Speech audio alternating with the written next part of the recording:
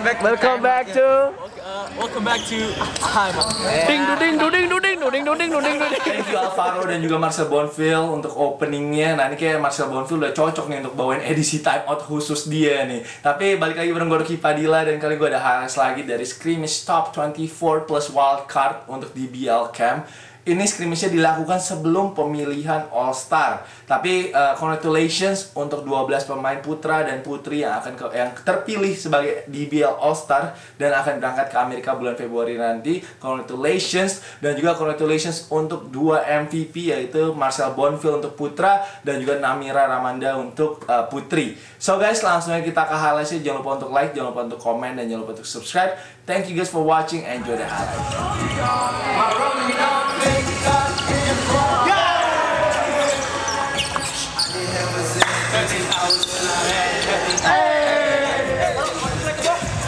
I shoot my shot, that I'm Shakespeare. Hey, hey!